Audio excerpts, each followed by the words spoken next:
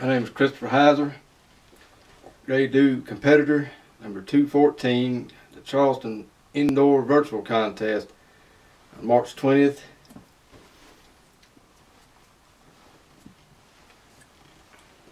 At 10:15 p.m. I'll be playing Calum Beag and Alan MacPherson of Mosspark, the hornpipe jig.